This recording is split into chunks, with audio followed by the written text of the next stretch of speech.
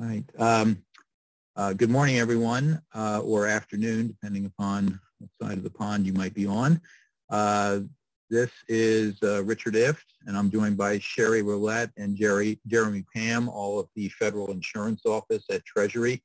Uh, also on the line um, is Mike McCauley at uh, Verisk ISO, who is directing the collection and aggregation of the data through the portal operated by ISO.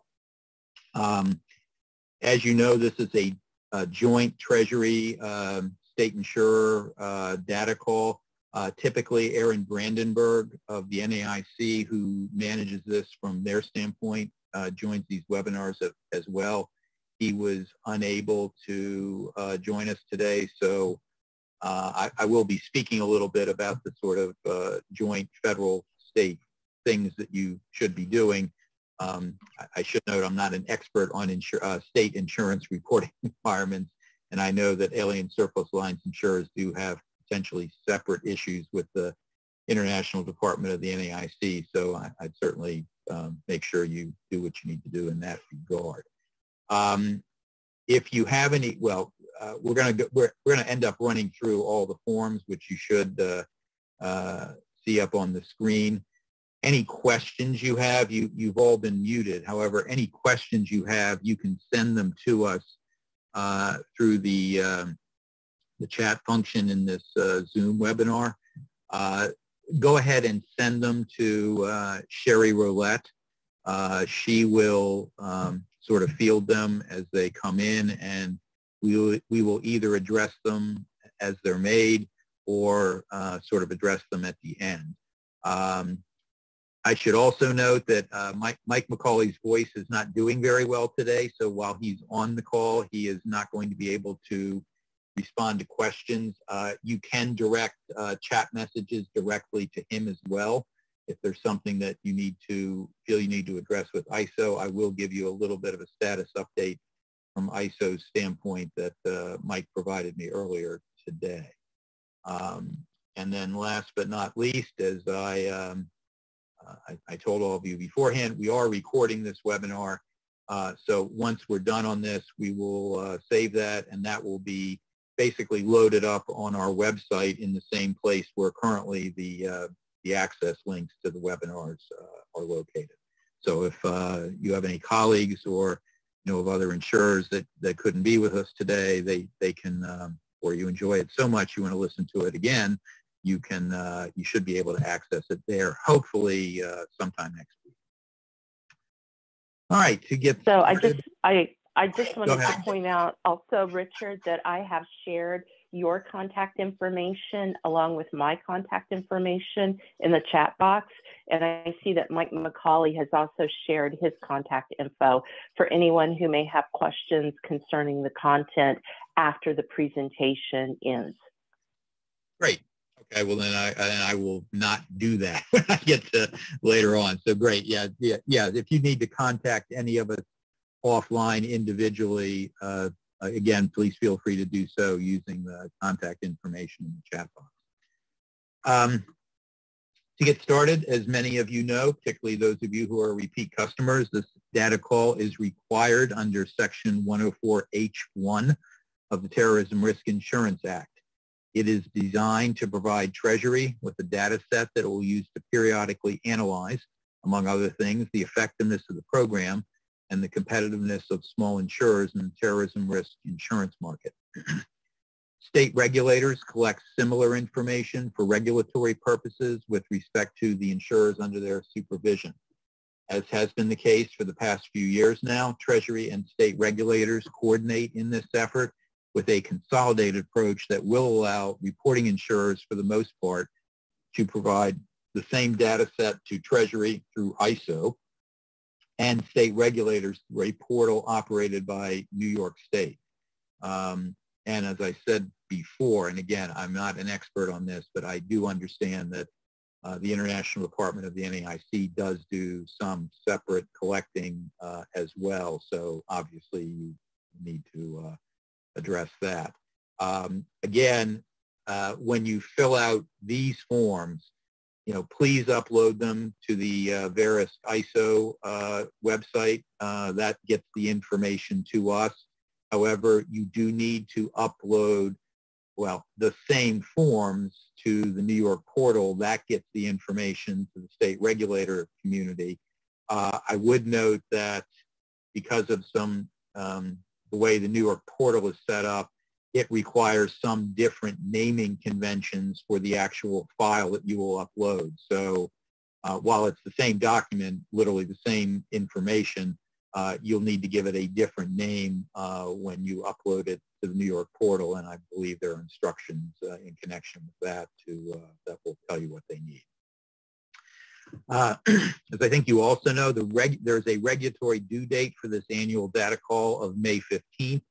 Uh, that is set in light of uh, FIO's statutory obligation to provide a report to Congress based on this data by June 30th. Uh, this year, the date is actually May 16th. Uh, lucky everybody, since the 15th falls on a Sunday. So uh, we will be accepting information through the 16th this year. Um, you know, look, we uh, because of we have a pretty tight turnaround for getting that report out. We are not really in a position to provide extensions beyond that May 16th date this year. So please, please do your very best to get the information into us um, at that time. Um, as has been the case in prior years, we are conducting webinars for each of the four reporting templates that we use. Uh, those are for small insurers, non-small insurers. Those webinars were held yesterday as well as for alien surplus lines insurers and captive insurers. Uh, this webinar, of course, is addressing alien surplus lines insurers, which for purposes of the data call participate in TRIP by virtue of being listed on the NAI, NAIC's quarterly listing of surplus lines insurers. Now, the alien surplus lines insurer reporting template should only be used by alien surplus lines insurers that are not part of a group unless the group consists only of alien surplus lines insurers. Uh, any alien surplus line insurer that is part of a licensed domestic insurer group should report as part of the group using either the non-small or small insurer template as, as appropriate. Uh, this webinar. So Richard. Will, yep. Mm -hmm. We we have we have our first question. Okay. Um, and the question is, I have a doubt related to the reporting. My company is an alien and excess surplus insurers but there's a company of the same group that is American, and we report the information jointly. So we use the small insurance form as the American company, or would we need to use the E&S form? If you are, if if if you as this alien surplus lines insurer as, are part of, essentially are affiliated uh, for TRIP purposes with a small insurer an entity that's classified as a small insurer in the United States, then you get to report your information in in association with, because all the reporting is on a group basis, you get to report your information in on that um, um, small insurer template, which uh, uh, I'm sure you probably realize by now is preferable since, for you since it actually requires uh, production of somewhat less information. But yes, if uh, again, if you should only be filling out this alien surplus lines company uh, template if you are unaffiliated uh, with any other with any U.S. domestic insurers. Um, and again, we, we did we, we did uh, hold separate webinars yesterday for the non-small and small insurers. So if you went to uh, take a look at that uh, small insurer uh, webinar for you know those particular forms. Obviously, much of it is the same, but there are some differences. Uh, those will hopefully be available on our website next week. Now, uh, this year's data call um, does contain certain changes for alien surplus insurers that write cyber insurance, and it does have um, a new model loss question as well. Um, I should note there's some other changes for captive insurers, which presumably do not really affect this group. Um, you will see that the model loss question uses a similar format to those in past years, but applies a new location and new assumptions about the, uh, the attack uh, model. Uh, we will go through the cyber insurance uh, changes and the new model loss question a little later in the webinar. Um, a few more general questions about reporting before we move on to uh, taking a look at these individual worksheets. Um, as I mentioned, TRIP operates on a group basis, so reporting should also be done on a group basis. And again, as we discuss, they, um, well, because,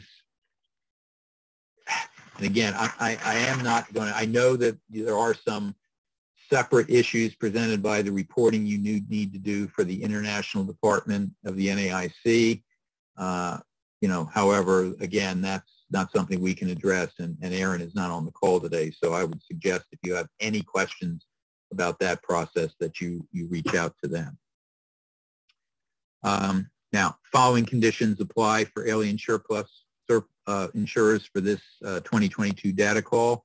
You must do either one of two things. Again, if you are affiliated uh, with a larger group that, that reports on either the non-small or small insurer form, your information should be reported on that template. Um, that needs to be separate, uh, submitted separately to both ISO and the New York portal. Um, second, if the alien surplus lines insurer is not affiliated with a larger group or is part of a group that only contains alien surplus lines insurers, then the alien surplus line insurer should use the alien surplus line template instead. Uh, this form uh, will be submitted to both ISO and to the New York portal. Again, the submissions to ISO and the New York portal are currently due uh, May 16th in both cases. And again, I think what happens, again, please check me on this because I'm, I'm not the expert on this. I believe that individual alien surplus lines insurers do have an additional reporting requirement for the international insurers department purposes. And I believe you basically have to have to complete this template on an individual company basis and submit that to the international department. Again, um, the NAIC folks can address that. Uh, I do suggest you, uh, I, I'm not aware that there's any changes in that process this year, but again, that is not anything we have anything to do with. So uh, please reach out to them if, if you have any questions. Um, the process here that we're, uh, we are addressing is pretty simple. You go to the data collection website, which is www.tripsection111data.com uh, and download the registration form. Um, you will then fill out this registration form and email it to the address provided. Uh, the point of contact you list on your registration form will receive an, ISO, an email from ISO with a link to the secure portal the secure portal will contain your required reporting form. Um, now, we, we do get a, uh, questions from insurers uh, that they haven't received the reporting template. So uh, again, do remember to, to get the templates, you do have to register each year. So the fact that you may have registered in prior years, that, that doesn't carry over. You do have to separately register uh, each year. So uh, please be mindful of that uh, requirement. And in addition, I can give you a status update from Mike on that. And he advised me this morning that all registrations from alien surplus lines insurers that were received before 2 o'clock p.m. Eastern Standard Time yesterday, that uh, the those have been processed and the secure emails containing the uh, SFTP credentials uh, to access the data templates have been sent. So if you did register before 2 o'clock p.m. Eastern yesterday, you should have received your email. Uh, if you if it was after 2 p.m. or if you did it today, um, you will necessarily not have probably received your uh, email yet. If you did register uh, before 2 p.m. yesterday and you haven't received the email yet, uh, you, you should probably reach out separately to uh, and ISO um, and Mike McCauley uh, to, to see what might be going on. Um, again, once you have collected your data and completed the reporting form, you do need to send it back to ISO through the same secure portal. Uh, the form is provided to you in Excel format. However, if you do prefer, prefer to report using a CSV form, just notify um, Mike and ISO and they will provide you with the specifications to submit your data in CSV format instead. And again, I can't emphasize this enough. Please remember that although this is a consolidated data call with the state regulators, you do need to submit your completed reporting forms to the New York portal separately for state purposes and then submitting submit the form to ISO for treasury purposes.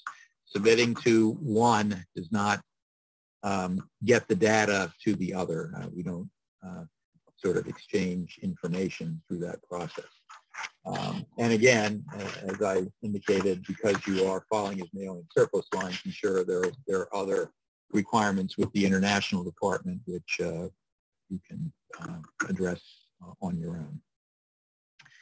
Now for workers' compensation with, which I, I, I, do say this every year, it's probably not much of an issue for year for this group. Data for excess workers' compensation policies, which, which I guess maybe gets reported in the same manner as other data elements. Um, if, if you are in that rare circumstance as an alien insurer that has some ability to been licensed to write direct workers' compensation uh, coverage uh, through, uh, in the U.S., that, that information is reported separately to, uh, to ISO by NCCI and certain workers' compensation rating bureaus. Again, probably not applicable to any companies reporting on the alien surplus lines template. However, if you think you uh, may have an issue there about your organization's particular status, uh, please contact either Treasury or ISO. Now, if you have any questions as you collect your data and complete the reporting forms, your first action should be to review the instructions for the small insurer or for the uh, alien surplus uh, lines form that you will be completing. Uh, and I can go back to this here. That instruction form, uh, doing this right, is located on our website, which I've gone back to here, is right here, and so you can access there. And um, this form basically provides both some general guidelines and guidance as well as literally going through each data cell on the worksheets and provides you know some further information on you know what it is we're looking for to the extent you've got any any questions. So uh, you know if you do have any questions, really looking at the instructions or the is the first um, um, uh, source of information.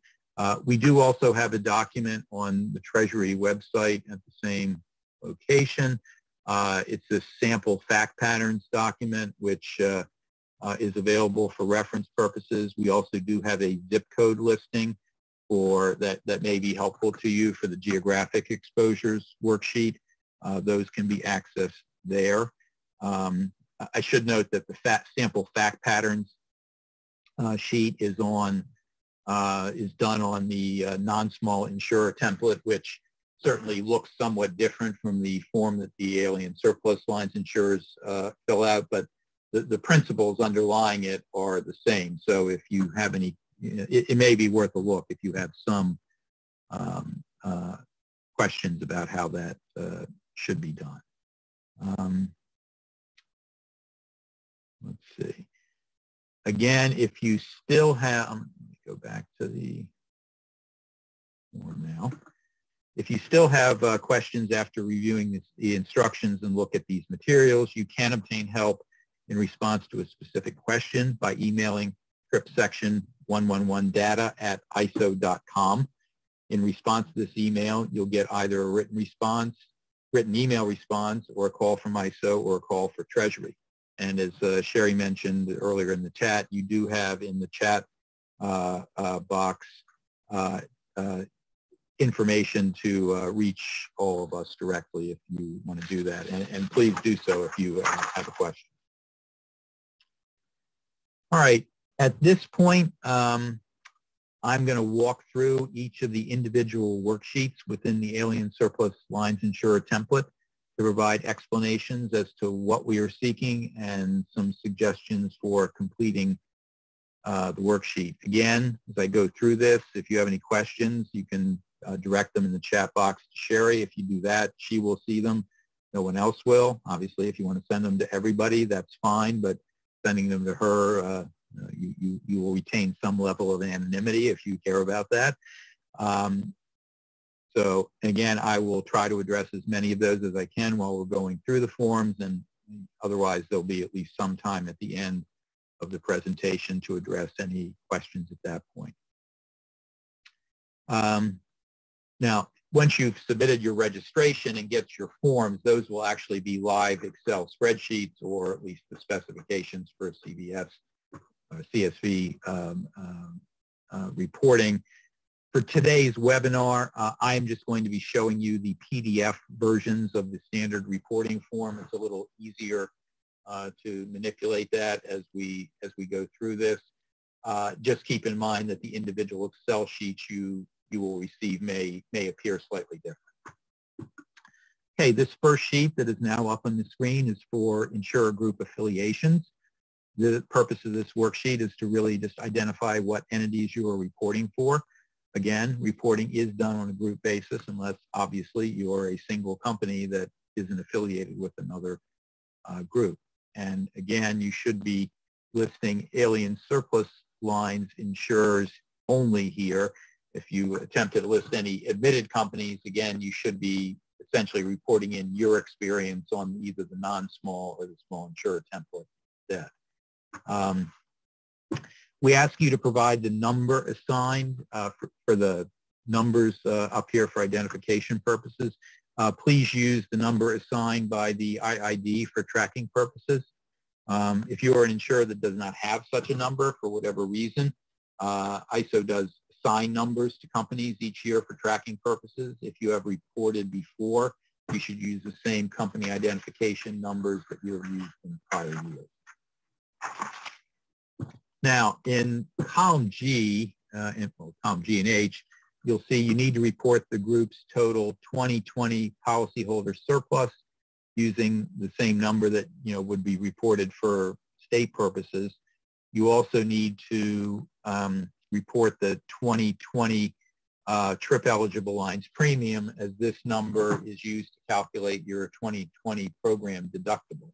And you actually need to use that sheet when you uh, answer respond to questions on the reinsurance worksheet in particular in connection with the model loss question.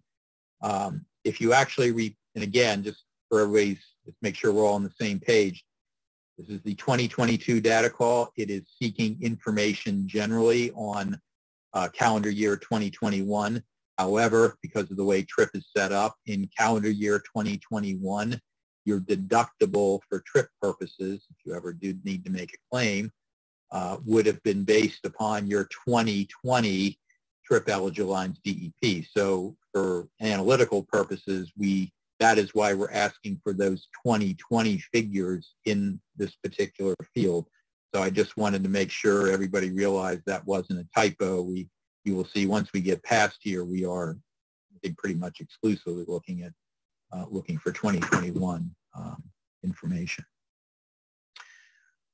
Okay, um, that's pretty much all there is on that one. Uh, on the next page is the premium worksheet. On the next, on this sheet, you will be reporting your direct earned premium and policy count. Now, we add, and this is the principal significant difference for alien surplus lines insurers that report solely as alien surplus lines insurers. We do it, we, um, we, well, we, we, we allow alien surplus lines insurers to report here using the same line descriptions that they use, would use for uh, Solvency II purposes, uh, even though TRIP is otherwise managed with reference to NAIC state reporting lines.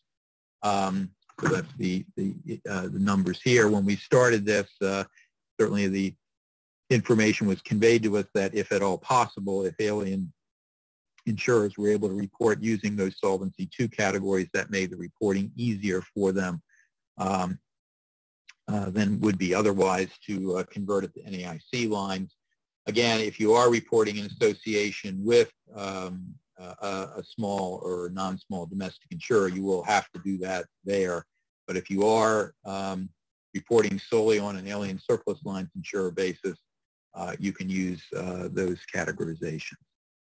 Um, now, uh, keep in mind that, again, how much this is relevant to, to you guys is, you know, you'll, you'll have to figure out. There are some differences in how trip uh, premium gets reported as it might be reported for state purposes otherwise. Uh, no personal lines premium should be reported on this sheet. Uh, TRIP is based solely on commercial lines of insurance. Some of the NAIC reporting lines, I'm thinking fire and um, uh, allied lines do contain some elements of personal lines premium. That should not be included. If you have any personal lines of premium that you would other classify under these uh, categories, that should not be reported here. Uh, similarly, uh, um, and I guess you would probably report it under general li liability on this form, professional liability and errors and omissions coverage, with the exception of D&O coverage, are excluded from TRIP. So if you've got any premium that you would otherwise uh, slot under general liability, that should not be included here because that is um, uh, not report that is not eligible for TRIP purposes. So long story short, there might be amounts that you report under the Solvency II lines, but you would not do here. Uh, please look at the instructions, uh, which, which, try, which do detail this in terms of what the differences are to make sure that uh, you are being accurate. If you have reported before, there are no changes in this re re regard. So if you have been doing it correctly, uh, please keep doing it as you've been doing it in uh, prior years. Now, going back to the form itself, uh, column D, uh, which is ends up being your total 2021 trip eligible DEP, this column, that will auto-populate and will be based on the sums of column E, F, and G, uh, which break down your policies based upon whether terrorism risk coverage was declined, whether it was provided for column E, whether it was provided for no cost, or whether it was provided for some um, uh, disclosed amount of premium. If you do provide a number uh, in column G where terrorism risk insurance coverage is provided for a disclosed premium, then column H um, there should contain the actual amount that was charged for terrorism risk insurance premium. And thus column H will be a subset of column G, which shows the overall premium for that policy. Premium should be entered on a direct earned basis for calendar year 2021. That's not a direct written basis. Um, TRIP is set up based on a direct earned premium basis. This, of course, means that if you have a policy that started before 2021 or ended after 2021, you should only include the premium earned for that during 2021 for that policy. If the policy covers uh, multiple states, that should be allocated to each state uh, proportionally in the same manner as your report that would report for state purposes. And again, I, I do appreciate that, uh, again, for the, the multi, any multi-state reporting, alien surplus lines insurers are essentially allowed here for the most part to report as they report for state purposes. So if by virtue of being an alien surplus lines insurer, you don't uh, have to report uh, individually on individual states, you can uh, basically report just to the states that you are uh, allowed to report to for those purposes. All right, policy count uh, is set forth in columns I, J, and K. And as with premium, uh, you will divide the policies based on whether terrorism risk coverage was declined, included for no cost, or included for some amount of premium. These amounts will automatically add up and appear in column L. Uh, keep in mind that your policy count will be calculated differently than the premium. Essentially, a policy should be counted if it incepted at any time in 2021 or if it incepted before 2021 but remained in effect on December 31, 2021. If you had a policy that started on January 9, January 1, 2019 and ended on December 31, 2021, you would include the policy in your policy count as, as a one. Similarly, if you had a policy that began on July 1, 2020 and ended on December 31, uh, 2021, you would also include that policy in your policy count.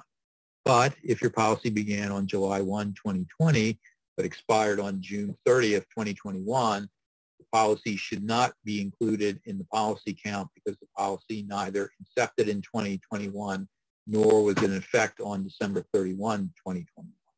And as I know, uh, should note, and we had this question yesterday, even though you're putting in a zero for that particular policy that was in effect for six months during 2021, you would be reporting that six months worth of earned premium associated with that policy.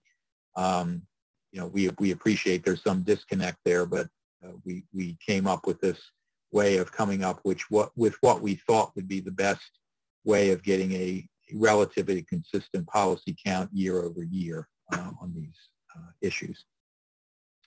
I do want to highlight that if any of you have policies that cover multiple lines of insurance, you will end up with some double counting for those policies because you should be counting the policy one time for each line of insurance where it appears. So, uh, you know, uh, just, well, I'm not exactly sure how, whether that really would come up, but just say, for example, you had a policy that covered that fire and damage to property line and also had some uh, general liability elements in there. Um, you would record a policy count in both lines 10 in rows 10 and 11. You would see that if you add these numbers vertically, you'll get the double counting of the policy because the uh, horizontal uh, count for that uh, policy line should still be accurate. Um, beyond this, you are going to uh, ensure that each policy then gets uh, addressed on each state worksheet that you may be required to fill out. However, for this same policy that covers multiple lines here, that line 10 and 11, there we're asking you on line 14 to just put in a 1 for that policy. So that'll give us a little better idea of if you are issuing uh, policies with multiple lines of insurance, uh, uh, and that'll that'll sort of alert us to that double counting issue there. So that's all I have for that one. Moving on to the next page, which is the standalone terrorism uh, worksheet. This asks you to provide information about any standalone policies that you have which cover terrorism. This is going to cover policies that offer coverage only for terrorism risks. Other policies would only be included on the previous page for reporting direct earned premium. However, if you do, if you are engaging in issuing standalone terrorism policies, those policies, the premium associated for those would also be reported as well as the policy count numbers in that uh, uh, prior worksheet. This would essentially be a subset of what is otherwise reported under that worksheet, just so we can get an idea of what the picture is for uh, standalone uh, terrorism. Uh, for comparative purposes, we are asking you for information on policies to provide coverage for acts of terrorism certified under TRIA. That's uh, line four, as well as policies to provide coverage for other acts of terrorism uh, that are not subject uh, to, to TRIP. Um, again, we do this for comparative purposes just so we have an understanding of what's going on in the market in that. Data on this sheet is reported solely on a nationwide basis. Um, and again, in addition to DEP, you will need to provide data on the number of policies issued and information on the exposure and limits of, liability. All right, the next page is the cyber worksheet, and this is the one that contains the principal changes for purposes of this year, so I will be uh, trying to go over that in some detail. Um, the information, um, so while the categories of information have expanded, we are continuing to seek the information both on standalone cyber policies, that, that's the information that's reported in column C, as well as cyber endorsements attached to another policy or, or package, part of a package policy. That experience should be reported in column D. You should not, uh, if, if you still have uh, these risks should not provide any information on so-called non-affirmative or silent cyber coverage, where a policy may cover some sort of cyber loss because cyber is not specifically excluded in the policy. Now going to this particular expanded form, lines uh, 3 through 6, that's right there, um, 8 to 9, and 18 to 19 uh, request information concerning premium, number of policies, and limits for cyber policies in TRIP eligible lines of insurance that has been requested previously and is continuing to be requested. So you should continue to respond to these questions as you have in the past. Um, lines, let's see, seven. Uh, 10 and 20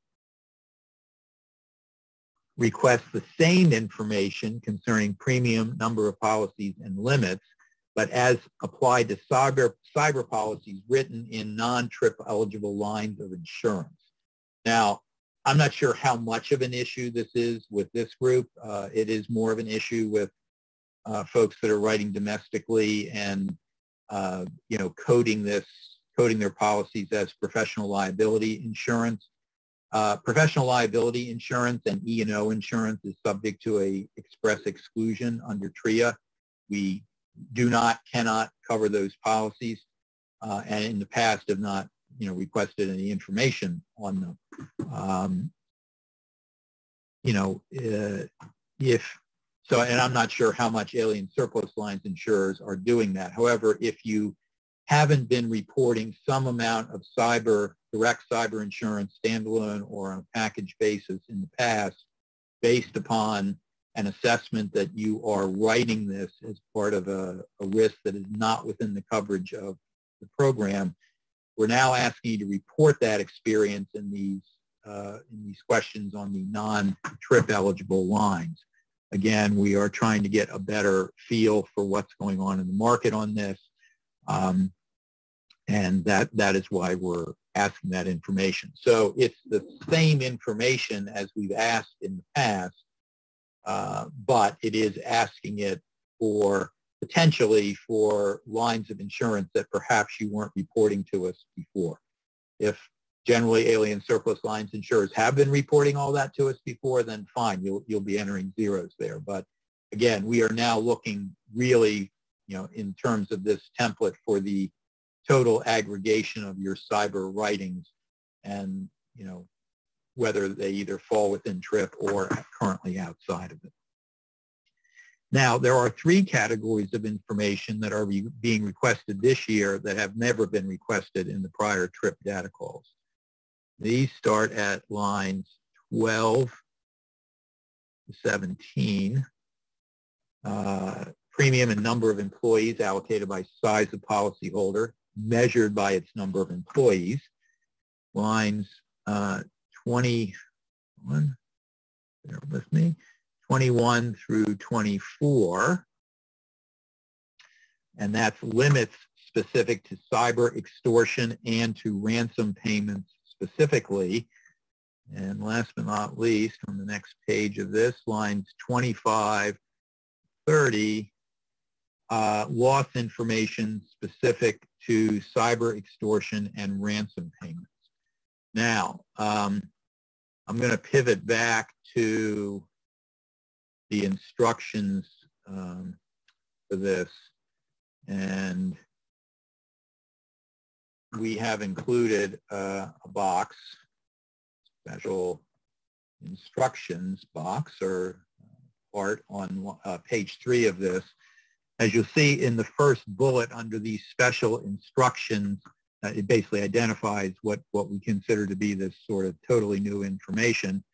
Um, uh, but it also provides what uh, are our um, feelings on, on how companies should be completing it. As we were proposing this, we certainly did get some comments to the effect that some insurers, um, particularly on the number of employees uh, for policyholders, metric had not been uh, collecting this information either consistently or, well, either at all or consistently in calendar year 2021 and, and simply didn't capture it, so it can't be captured by their systems. Um, look, if you did not capture it in 2021, we are, we are not purporting to require you to go out and do some sort of retrospective analysis of, of, your, poli- of your policyholders to respond to this. Uh, um, again, this is, we, we believe this is based upon if you, your existing capabilities don't permit you to do that. You, you are not requiring you to do that. Uh, we are basing that on the essentially the same test uh, that you provide information to us generally, which is that it is a full and true statement of the information uh, provided to the best of your knowledge, information, and belief. Um, if, if you can't do that because of those sort of limitations, um, we get that. Uh, we do uh, expect and, and, wish that uh, for calendar year 2021 or 2022, next year's data call, you should be collecting that now so that we can uh, we would be able to address that next year. But if you are unable to address that this year, um, you know, we get that. If if you have the information but feel you may fall into some uh, unusual situation, look, give us a call. Uh, we can address individual situations individually. We do want you to do your best on this if you can. Uh, we actually had a question on um, yesterday, one of yesterday's webinars that uh, an insurer basically was able to say that while they, they didn't really collect it as such, they basically knew as a matter of certainty that uh, all of their cyber uh, premium numbers, what have you, fell into a, one of those particular buckets. So obviously, if you can respond on that sort of basis with a, you know, good best estimate, uh, we're fine with that. Um, again, if, you know, you simply didn't didn't collect it and thus don't have that kind of uh, window into what you were writing in that regard, um, you know, we, we understand that issue. Uh, we would actually assume, frankly, that on the other new elements, limits and um, uh, loss history, uh, that, that would seem to us to be information insurers should generally collect. So we would be, frankly, a little more skeptical about you not having that. But uh, in any event, uh, you know, if you have any questions on that that you need to address with us individually, we can do that. Now, on this new information, premium, uh, number of policies allocated by size of the policyholder, um, that's requesting for all, we're not uh, purporting to break that out between any TRIP or non-TRIP um, um, lines issues there, uh, just for all of your cyber policies in general. These are the same size categories that were utilized by the NAIC for the business interruption data calls that it did uh, in association with the COVID-19 pandemic. Uh, not sure if any of, of you folks needed to respond to that, but, but they're the same buckets that were used for that. And again, it's pretty obvious we're, we're trying to get an idea of sort of small, medium, and large size entities that are uh, accessing uh, cyber insurance. Again, if you have the information uh, available, we would assume the reporting should be pretty straightforward. But again, we can respond to individual questions as necessary. Now, regarding the new information concerning limit-specific cyber extortion and ransom payments, the distinction we are drawing is between coverage for cyber extortion generally, uh, that is, you know, if your policy covers a ransomware attack, we appreciate that you know, policies may provide coverage for a wide range of benefits, which are certainly far beyond simply the amount of money that the bad actor is trying to extort out of the policyholder. That would be the sort of general cyber extortion category. For ransom payments, uh, that is we're trying to get a, a handle on the actual limit for that you would have available for the actual uh, payment itself payment or reimbursement, we understand many insurers do not pay that directly as opposed to reimburse the policyholder for it.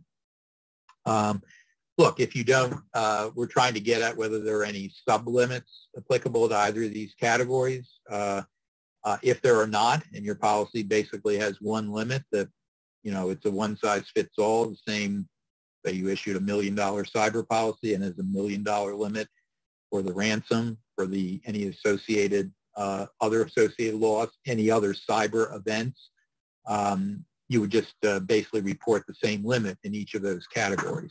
Um, if that limit changes depending upon the characterizations we're identifying here, that's what we're trying to get at. Um, and here, the information is being requested separately as between policies in the TRIP versus non-TRIP eligible lines if you are reporting separately in that regard, um, uh, for the reasons we talked about before.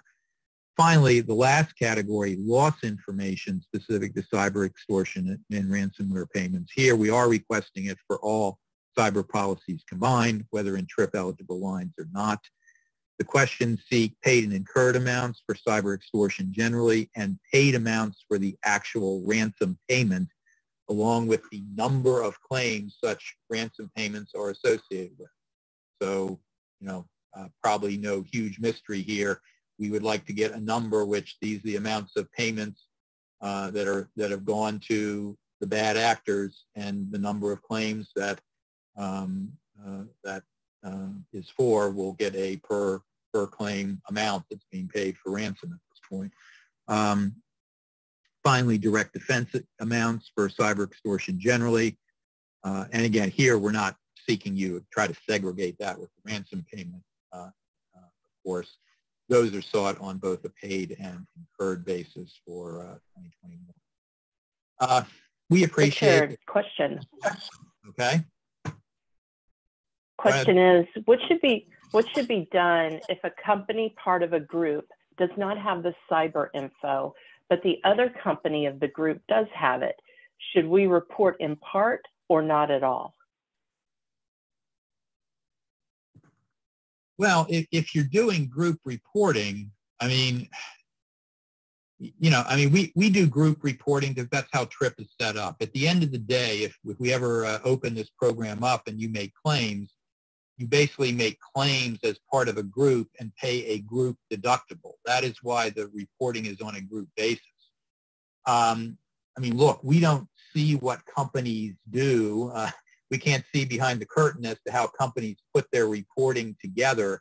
Uh, I, I have had conversations with insurers that obviously we know you've got multiple data systems here and there and you know that that needs to essentially be all merged together and you know, at the end of the day needs to be reported into us on a consolidated basis. So, you know, my understanding is that the companies, you know, typically they, they, they do that coordination internally to make sure they can get all of the relevant data in one place and then it gets, you know, loaded up into the spreadsheet and reported to us. So, I mean, how you do that, that is, you know, your business, obviously. I mean, we are just looking for the uh, consolidated group group information for your group. Now, if, again, because I do know that alien surplus lines insurers ultimately may, may need to do that report separately for each of them for the NAIC IID purposes. Uh, that that's between you and the NAIC. I, I can't really advise you on that. Um, so in any event, we appreciate there's a lot of new information here. Do believe these are all concepts which uh, insurers writing in the cyberspace should be very cognizant of this at this point. Obviously, if you don't write cyber insurance, uh, it's your lucky day. You don't have any, uh, uh data, data production requirements in this regard.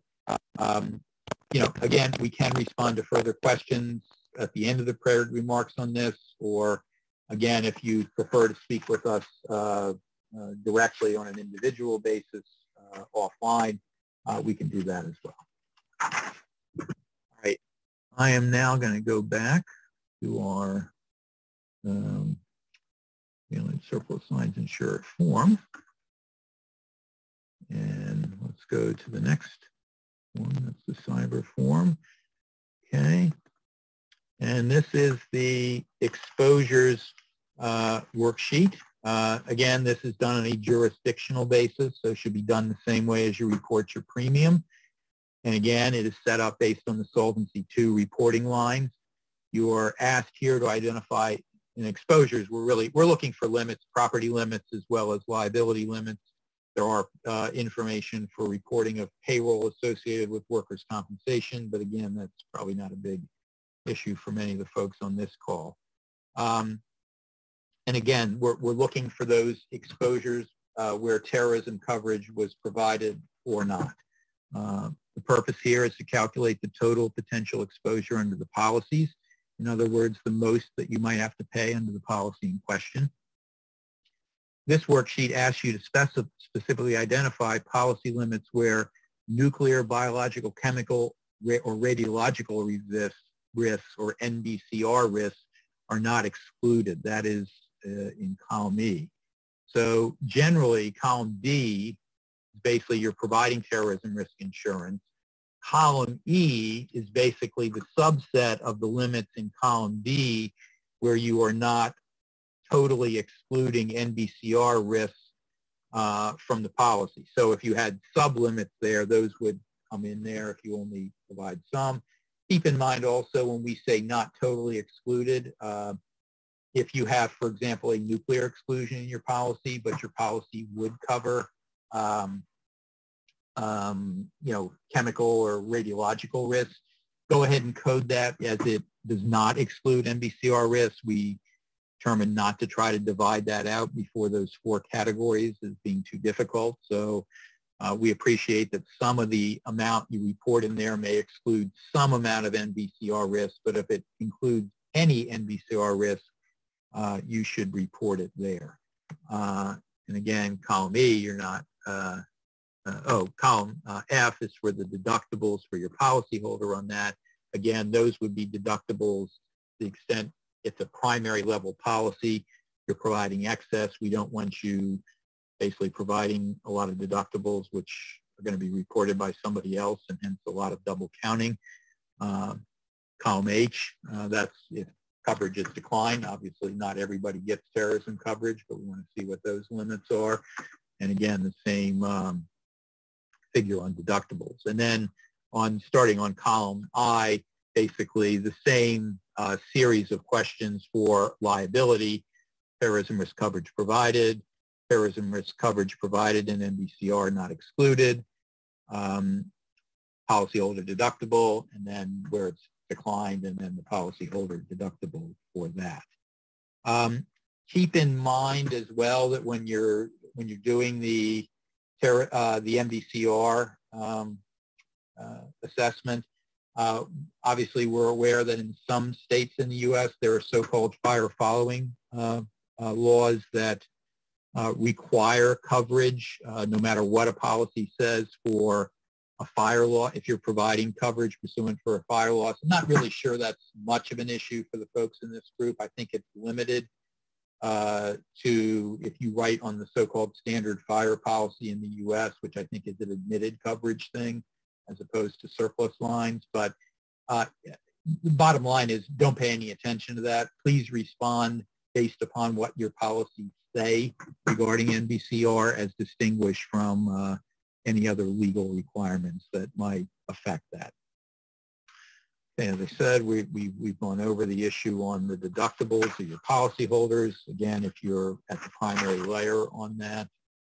Um, uh, this one, you know, we're, we're requesting you report on a jurisdictional basis for where you report jurisdictionally, but there is a, there will be a subset on uh, the United States for this. So uh, on there, um, you know, use basically don't aggregate things on policies that cover multiple jurisdictions, just aggregate it all for the United States uh, as a whole. Uh, uh, this is a point when you do report deductibles. If, if you've got a policy that might have multiple deductibles, depending upon the property or operation uh, going on, uh, use the lowest one uh, when figuring that out. Uh, but, you know, we had to come up with some convention on that. That's the one we do. Now, other sort of hints on how the exposure information should be reported as compared to premium. Uh, first of all, you would want to report the exposure information on a per occurrence basis. Uh, next, whereas you divide premium information proportionally by jurisdiction, with exposure, you know, report, report the relevant limit for each jurisdiction, even if an aggregate limit might cap your uh, exposure across multiple jurisdictions. So for example, if you had a policy providing a million dollars of coverage in two states, say California and Oregon, uh, you would report a million dollar exposure on each of the California and Oregon worksheets, uh, even though uh, each, the policy had a single overall limit of a million. Um, again, you need to fill out the general U.S. worksheet as well, which would you know, aggregate that experience. So there you would just uh, fill out the million for that particular policy. Uh, also, as a reminder, um, if, the, if there is no per occurrence or single occurrence limit in the policy, uh, use the policy's aggregate limit for that. And I think we otherwise, if it's a policy that's based upon a, a property policy that's based on prop, uh, insured values, then obviously just uh, use the insured values instead. Um, another uh, difference between the DEP spreadsheet and this exposure spreadsheet is here we are asking you to basically do a snapshot of the exposure based upon the policies that were in force on December 31, 2021. This does differ from the premium worksheet, which actually asks you to include all premium earned in 2021, even if a policy expired before December 31, 2020, uh, December 31. So again, on the exposure worksheet uh, only, if a policy terminated for December 31, 2021, uh, you should not include that policy in your calculation. Again, the, pre- the, the uh, payroll information uh, down in column N. If you actually wrote real workers' compensation, that would be uh, provided by the rating uh, bureaus. However, uh, for excess workers' compensation, you would need to fill that. Okay, moving to the next sheet. This is the policyholder industry code. This is, again is a nationwide worksheet uh, doesn't not based on jurisdictions. On this page, you categorize premium for your policy using your choice of NAICS codes or SIC codes, or you can also, uh, yeah, NAIC or SIC codes. You will be providing data for property and liability policies, and once again, dividing these based upon whether coverage was provided or not. Uh, you will see there is an unavailable option uh, down there and down there. Um, uh, there, this isn't, a, uh, it's not like uh, we don't want you to report everything in this field. We do recognize that some data just reasonably does not get captured uh, with respect to this level of detail due to maybe data changes or system changes over a year. Does give you the option to report that information there. Um, so again, and then again, like the other ones, if you do write uh, excess workers uh, compensation, uh, that would get uh, reported here as well. Uh, going on to the next sheet. This is the places of worship uh, template. This form collects data on the availability and affordability of terrorism risk insurance for places of worship. Um, again, this started up, I guess, in the 2020 data call. The worksheet remains the same this year. It is requesting that data be reported on a nationwide basis and categorized by property, liability, and workers' compensation policies. We only want information on policies written for places of worship. Uh, when you are reporting this data, please, in you know, churches, mosques, synagogues, that sort of thing, uh, when you're reporting this data, please do your best only to report coverage related to actual houses of worship and exclude any affiliated religious organizations such as hospitals or schools. Um, I mean, we are, if, if you have, you know, appropriately uh, uh, categorized your uh, premium by these uh, NAICS and SIC codes as well, or the ISO codes, if you've got those in there, that should approximate that. So we're fine with you using that. Uh, but again, try to keep out of there things like hospitals or schools because that's going to generate a lot of extra premium that really isn't the subject to this inquiry. Um, so if you can use one of those reporting systems, please do. And of course, you only need to use one, so you don't need to report it in on each line. Um, if you if you can't, but you have some other way to extract this data, such as a policyholder name search, you can do that instead.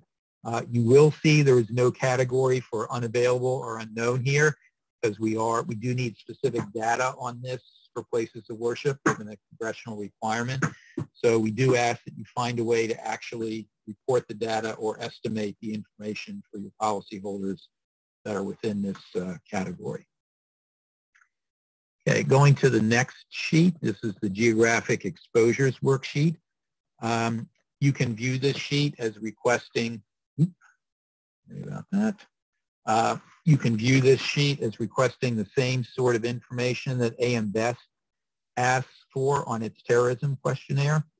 The geographic descriptions are the same as those used by AM Best. In addition to help reporting, as I mentioned earlier, we have a compiled we have compiled a complete list of zip codes for each jurisdiction on the worksheet where the description, uh, so for example, up here, all zip codes within the four counties of Fulton, DeKalb, uh, Clayton, and Cobb, uh, you can find that list of zip codes on our website if it's easier for you to get to the information um, that way. Uh, then that can be downloaded as an Excel file from our website if you find it helpful to respond to the questions. Um, otherwise, you know, use your best approximation of these geographic areas. Uh, this worksheet does ask for data on excess workers' compensation policies that you provide. You'll see that's in column E. Now, on the next page, uh,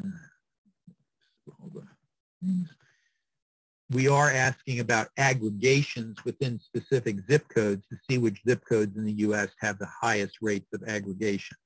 So you would add up all the exposures in zip codes and provide your top five zip codes in order.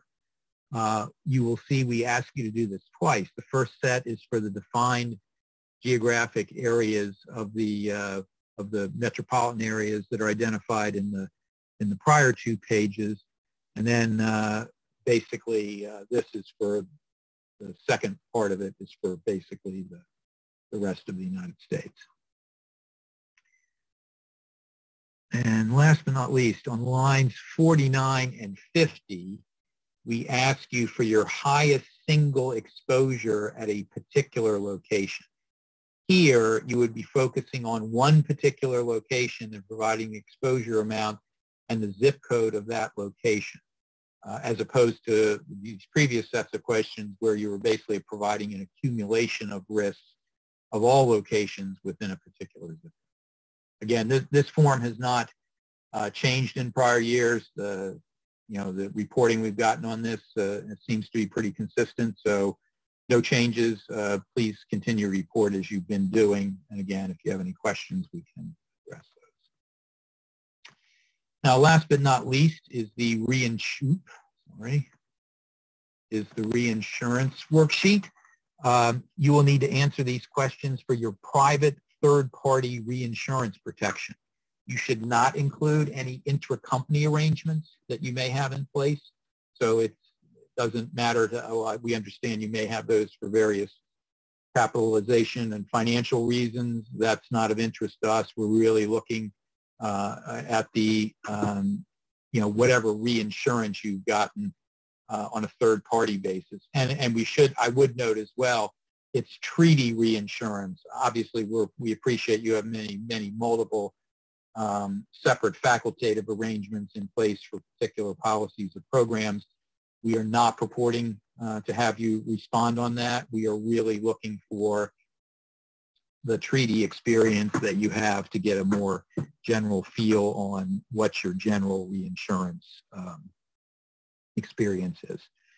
Uh, we strongly recommend that if you have an individual responsible for reinsurance in your company, you should forward this worksheet to them for completion.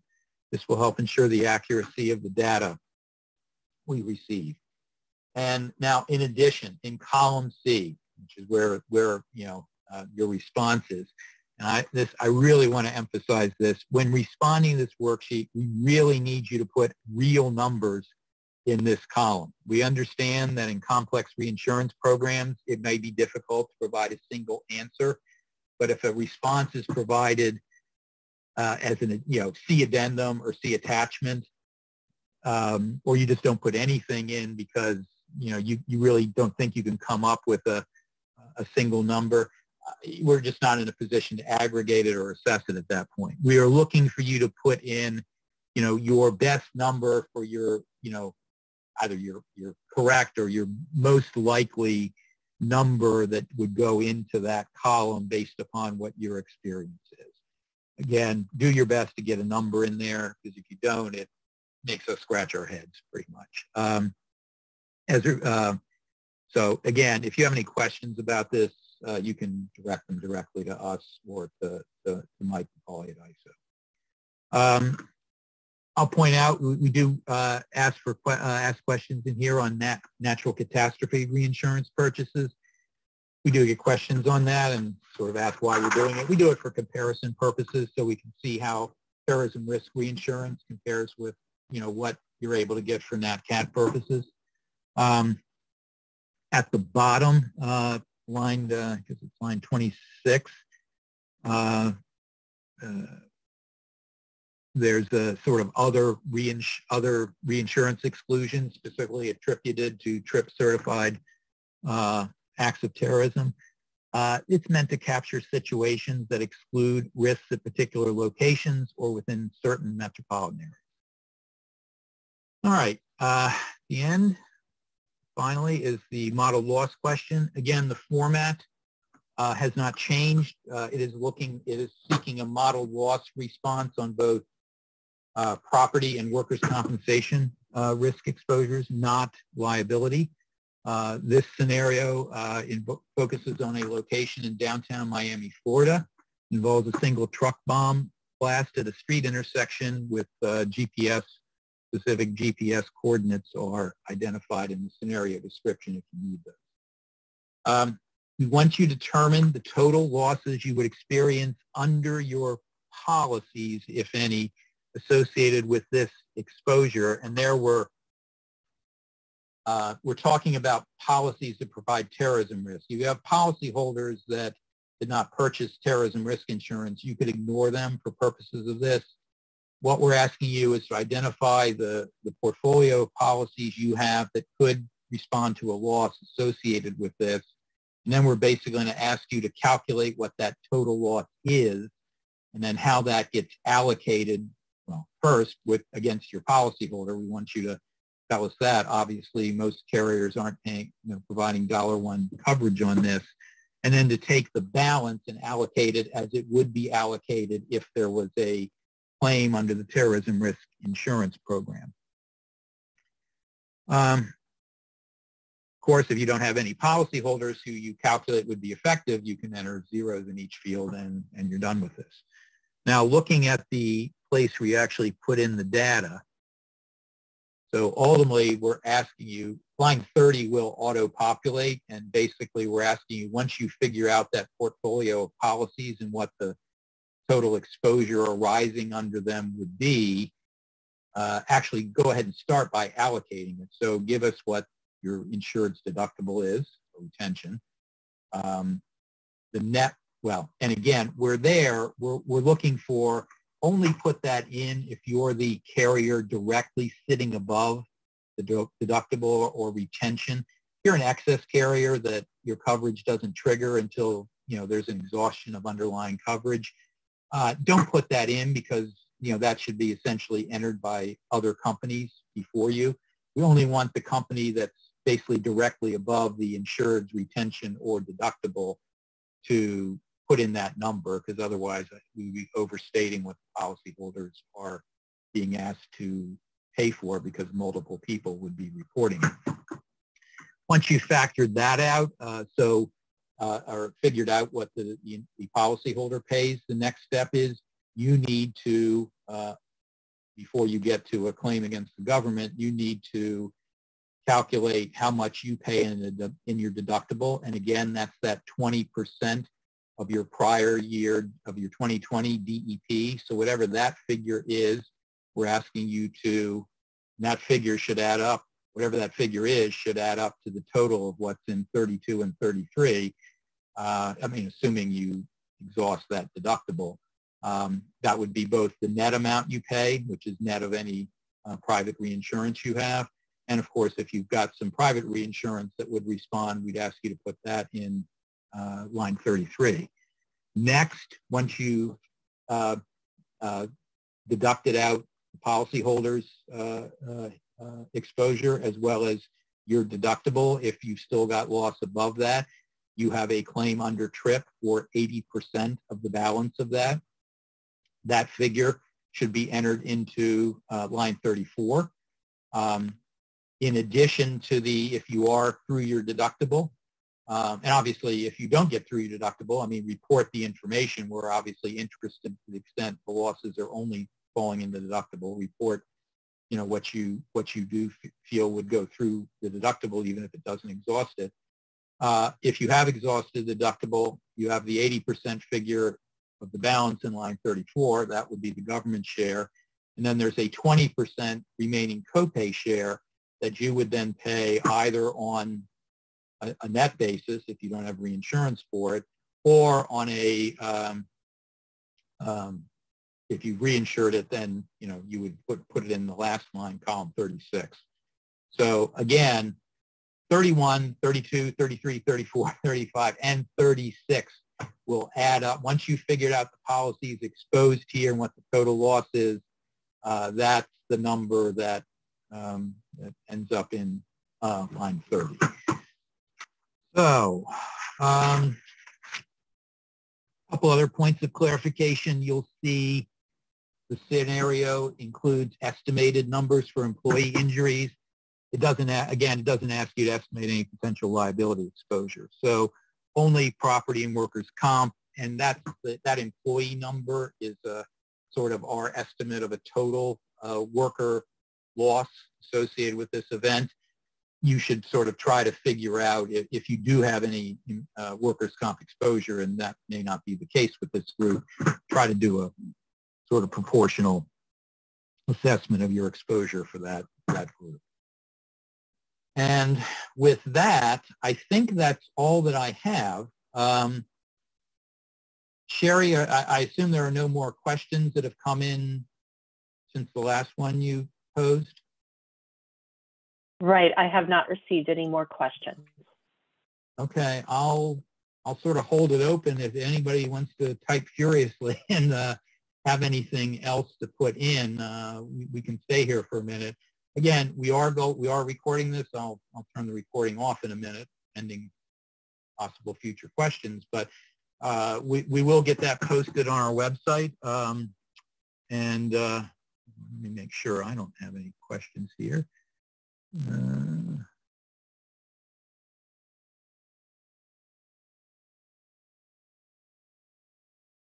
I think uh, the only ones I see in here, I think we've responded to everything that's come in so far. Sherry, nothing further on your end? Nothing further.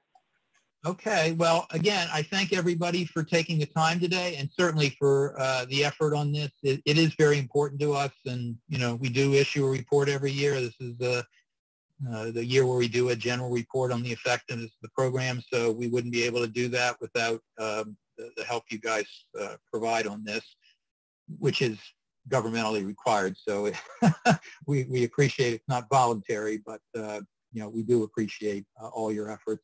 And if there's anything we can do to help you on this, uh, please, we'd rather you uh, ask us the question than scratch, scratch your head and, and worry about it. So um, again, I'm going to turn the recording off now and, um, and sign off. Uh, have a good rest of the day.